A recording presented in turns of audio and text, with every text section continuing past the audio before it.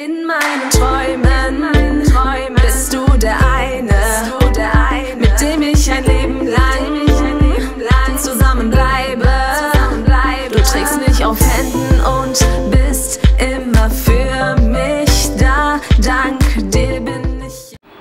Guten Morgen, ihr Lieben. Ich sehe voll tot und kaputt aus. Wir sind auch gerade aufgewacht. Und wir sind momentan so gestresst. Ähm, mein Ladekabel von meinem. Äh, Moment, ich mache mal kurz die Kamera sauber. So ist es besser, oder? So, mein Ladekabel von meiner Kamera ist kaputt, äh, von meinem äh, MacBook ist kaputt gegangen, weil es halt zu heiß ist. Äh, dann musste ich ein neues kaufen für knapp 100 Euro. Und danach kam gestern der Anruf, dass wir äh, Besuch aus dem Irak bekommen. Für ein paar Tage oder Wochen ist noch nicht sicher. Und zwar mh, von meiner Schwägerin die Schwiegermutter mit dem Sohn. Ja, das kam jetzt natürlich überraschend. Und dementsprechend muss ich jetzt die komplette Wohnung auf den Kopf stellen und sauber machen bis zum geht nicht mehr. Also wir haben gestern schon angefangen, also ich. Ich habe wirklich jede Ecke sauber gemacht. Heute geht es dann weiter. Oh, der hilft mir heute. Heute machen wir das Badezimmer sauber, schieben die Couch nach vorne. Ähm, mit dem Wischmopp müssen wir halt überall dran. Und danach wollten wir einen neuen, eine neue Couchtisch kaufen. Ja, das passt jetzt perfekt, ne? dass wir Besuch bekommen und wir haben keinen großen Tisch. Da müssen wir halt auf dem Boden essen. Aber Odell meinte, die essen eh immer auf dem Boden, deswegen passt das. Ja, sonst ähm, muss, muss ich, zum Glück habe ich diese Matratzen nicht weggeschmissen oder in den Keller getan, weil die brauchen wir ja jetzt dann, ne? Aber ich brauche halt auch äh, Spannbetttücher und wir haben keine Bettwäsche. Ich weiß gar nicht, wie wir das machen sollen. Ich muss mal gucken, was wir da haben. An Bettwäsche oder an, ähm, an Decken. Mal schauen. Ich nehme euch auf jeden Fall heute mit. Ja, heute wird es ein bisschen stressig. Übrigens habe ich sogar mein Edelbesteck rausgeholt hier. Das habe ich ähm, zu meiner Hochzeit von meiner Mama bekommen. Also das und vieles mehr. Die anderen Sachen habe ich benutzt, außer das jetzt. Und das habe ich jetzt auch rausgeholt, weil mit dem anderen war ich jetzt gar nicht mehr zufrieden. Da waren jetzt zwei, drei verschiedene äh, Löffel, Gabelformen und sonst was. Und hier ist jetzt alles einheitlich, deswegen passt das perfekt. Übrigens bereite ich gerade Frühstück vor und Dina wollte unbedingt ihr Prinzessinnenkleid anziehen, ne? Warte, warte, warte, warte. Da, Mama, Emmet, Und Emmet. übrigens, Hakan hat heute Geburtstag. Also Stress pur. Ich schlafe heute bei meiner Mama und dann komme ich morgen früh direkt wieder zurück. Aber, happy, happy, Mama. Ja, der hat Geburtstag, ne? Happy, Machen wir Happy Birthday. ja, happy. Happy Birthday to you. Da, Happy Birthday to you. Happy Birthday, lieber Hakan. Happy Birthday to you. Wir müssen noch einen Kuchen kaufen heute, ne? ja, nein, aber, Nein, da ihr könnt doch nicht seinen Kuchen selber kaufen. Wir kaufen einen Kuchen. happy, da, da. Happy Birthday to you. Nein, Emmet, Happy Birthday. Emmet, Emmet, Birthday. Emmet, Emmet. Birthday. Ja, das ist Eggneck. Rot. Der Hund, Emmet. Mama, nein, Mami. Doch, das. Und ich mache noch eins mit Dingens, ja? Mit Marmelade. Okay? Abgemacht? Ja, ja. Dabei aber man nehmen. Das andere mache ich mit Butter, Lena, ja? Zu viel Frischkäse ist auch nicht gut. Ja, das mache ich jetzt, ja.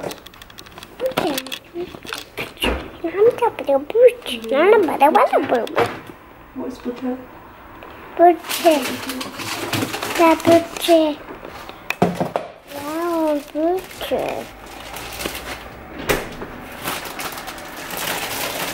So, dann Butter. Anne, Ja, ne. Emmet, Emmet. Ich weg mit. Ich will mal was lassen. Ja, wir müssen auch ganz viele Getränke kaufen. Ah. Was war das für ein Geräusch? Da war. Da. Du die Gold. Hast du Durst? Happy do do. Happy do do. Do. Happy.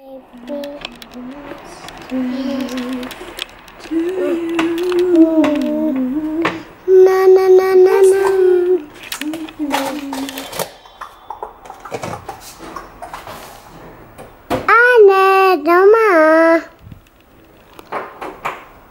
Da Babu ma.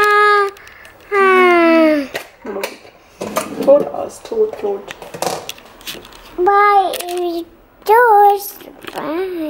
So, ich habe jetzt das Badezimmer sauber gemacht, die Fliesen, das Bad, alles Mögliche. Das stelle ich später raus, hier hinter und so. Ich habe es alles rausgeholt und sauber gemacht. Ähm, ich bin auch total kaputt jetzt. Also es gibt keine Ecke, wo ich jetzt nicht sauber gemacht habe. Ähm, die Waschmaschine werde ich auch anmachen, aber nicht jetzt. Und den Boden muss ich noch wischen und die Toilette muss ich noch sauber machen. Oh, das zieht gerade noch ein. Ja. Ansonsten Staub gesaugt habe ich auch angeblich. Ihr seht, Lina hat wieder einiges auf den Boden geschmissen. Ich weiß nicht, was das ist. Die Küche ist eigentlich auch aufgeräumt. Ich muss nur noch ähm, im Spülbecken sind noch ein paar Sachen. Und ich habe mir eine ein Wasser gemacht mit Eis. Das Eis ist natürlich geschmolzen, so warm die Wohnung jetzt auch ist. Genau, ich habe Lina gerade eben zwei Eier gemacht, die hat sie gegessen. Und sonst, hm, das Wohnzimmer sieht halt katastrophal aus jetzt, aber da hilft mir Audash und ich muss noch die Fenster putzen und die Wäsche aufhängen, die sieht man draußen noch. Also ich habe noch genug zu tun. Lina, guck mal. Wo ist Knete? Hier ist keine Knete. So, wir haben jetzt einen Tisch gekauft zwei Spannbetttücher, die wir gebraucht haben. Und jetzt shoppen wir hier Auder mit seiner Schwester und dann kommen wir nach Hause. Lina, warte mal kurz. So ihr Lieben, wir sind jetzt im Auto. Auder holt den Tisch ab. Und danach müssen wir auch einkaufen gehen. Ich hoffe, wir machen das jetzt sofort, weil wir haben schon 15 Uhr und ich glaube, meine Mutter holt mich so 15.30 Uhr, 16 Uhr holt sie mich ab.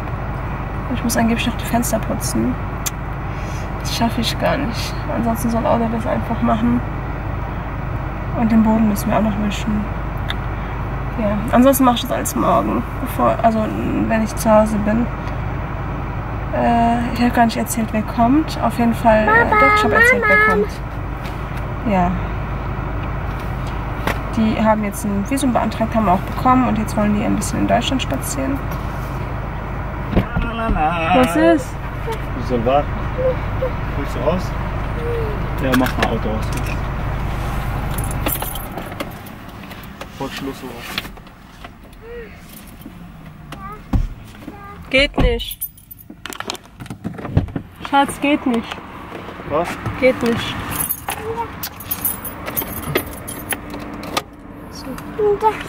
Ich kann nicht mal das. Hey, ähm, Mama, Mama, ne? Ja, weißt du was? Wir haben jetzt hier Kakao, Kakao.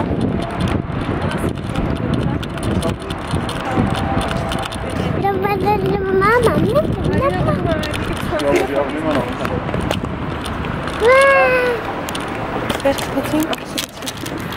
So ihr Lieben, ich habe euch ja erzählt, dass ich momentan nur noch am Putzen bin, da unser Besuch morgen kommt.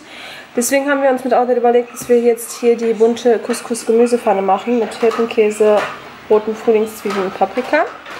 Ähm, einige haben mich gefragt, wo denn das Rezept steht hier.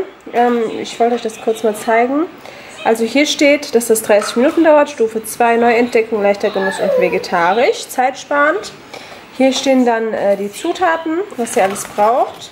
Und wenn ihr das dann umdreht, stehen hier die einzelnen Schritt, Schritte ganz detailliert erklärt. Hier steht dann, ähm, wie viele Zutaten ihr braucht, für wie viele Personen. Hier stehen dann zum Beispiel, für zwei Personen braucht ihr zum Beispiel eine Orange, äh, eine orangene Paprika, sorry, eine Zucchini, zwei Tomaten, eine, Karo äh, eine Karotte, eine Knoblauchzehe, Gewürzmischung. Die Gewürzmischung ist übrigens auch mit drin.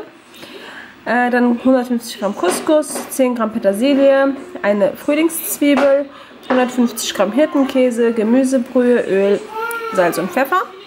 Das ist äh, zum Beispiel nicht mit drin, weil das hat man ja eigentlich immer zu Hause, ne?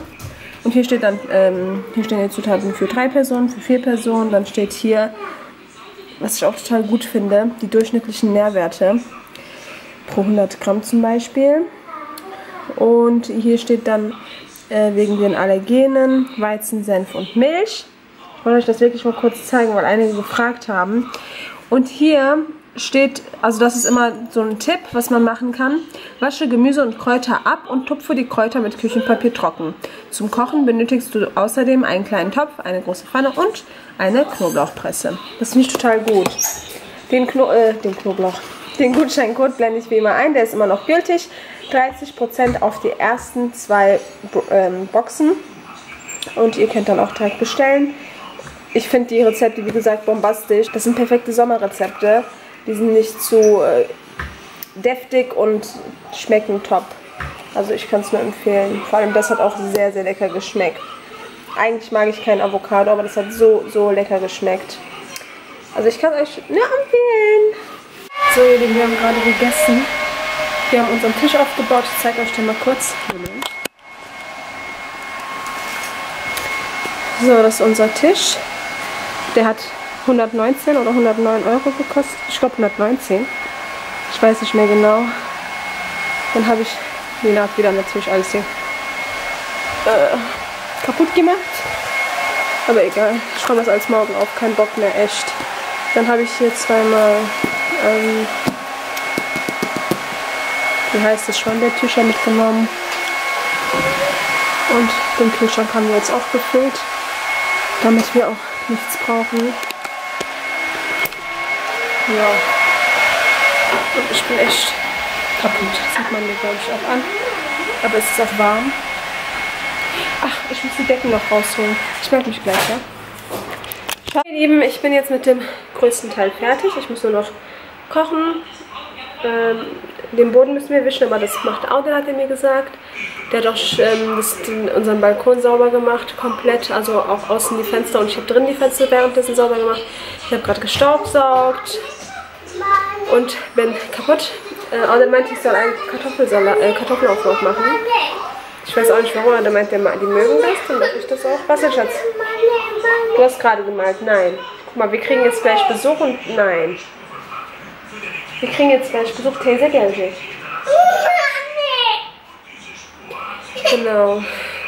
Mir ist es halt wichtig, wenn die hier reinkommen, dass es ordentlich ist und danach kann mein Kind machen, was es will. Ich werde jetzt nicht sagen, Nina, nein, du darfst das und das nicht machen. Und mir soll jetzt auch keiner ankommen mit, äh, warum habt ihr denn kein Hotel, äh, keine Ahnung, kein Hotelzimmer gemietet oder so. Äh, was wollt ihr? Was? Keiner soll mir jetzt sagen, warum habt ihr kein Hotelzimmer gemietet oder so. Und ähm, nimmt ihr in eurer Zwei-Zimmer-Wohnung auf. Leute, das nennt man Gastfreundlichkeit. Wir haben hier zwei Matratzen. Äh, ich finde unsere Wohnung nicht zu klein. Es gibt Leute, die wohnen äh, zu zehnt in einer Einzimmerwohnung. Deswegen, also eure Kommentare könnt ihr euch sparen.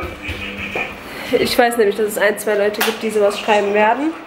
Was ich sehr schade finde. Ich hoffe, ihr werdet nicht mal in so einer Situation stecken. Naja, schade um eure Denkweise, würde ich mal sagen. Aber ich bin froh, dass die hier sind. Und äh, die wollen ja auch in ein Hotel. Äh, aber erstmal sollen die hier hin, weil Hotel ist auch schwer, ne? Wenn die jetzt ins Hotel gehen, dann müssen die äh, jedes Mal draußen essen und das wird auf Dauer richtig teuer. Mal schauen, wie wir das machen. Die sollen erstmal heile ankommen, die sind schon gelandet vor einer Stunde. Mal schauen, wann die jetzt da sind. Ich denke mal so in einer Stunde, anderthalb Stunden sind wir auf jeden Fall da. Ich melde mich auf jeden Fall gleich bei euch wieder. Lieben, unser Besuch ist seit gestern da. Ich habe gar nicht gefilmt, weil wir uns natürlich um die gekümmert haben. Wir haben gestern lecker gekocht. Wir haben auch Geschenke bekommen, voll lieb. Ähm, Alina hat einmal dieses Set bekommen. Das ist ein Kleid mit einem T-Shirt. Dann hat ähm, die kleine Maus auch was bekommen und zwar Ohrringe schon mal. Dann habe ich eine äh, Uhr bekommen, voll, also wir haben wirklich äh, nichts erwartet, aber wir haben trotzdem was bekommen. Dann hat Lina Hausschlappen bekommen, genau dieselben wie ich, also das in klein. Ja, ich habe gerade die Wäsche aufgehangen. Die Achso, wer übrigens da ist, ähm, das ist von meiner Schwägerin, die Schwiegermama. Habe ich euch das erzählt? Ich weiß gar nicht. Auf jeden Fall ist sie total lieb. Und äh, sie meinte auch, sie will heute kochen. Wir haben Fleisch rausgeholt. Wir waren gerade am Neumarkt spazieren.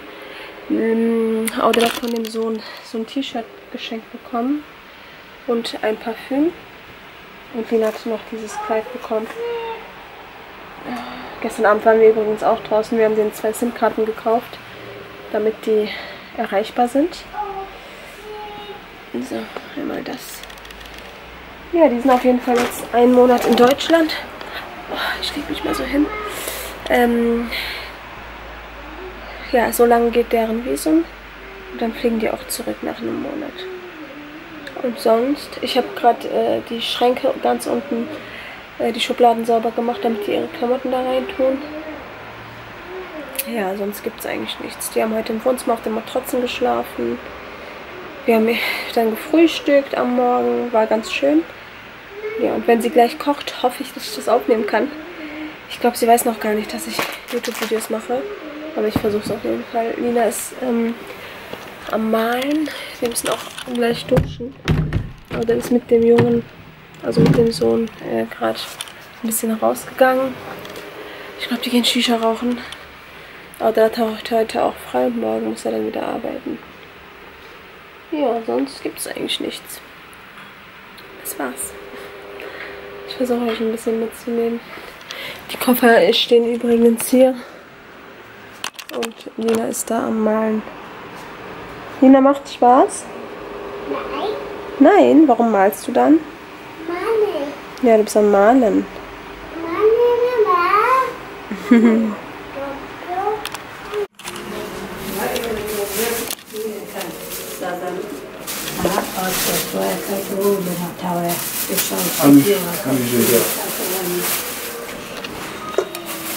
طيب هاوينا بزيادة الليرة أسا عالم جوانا زيادة بس خوارني أخر عوض صلاة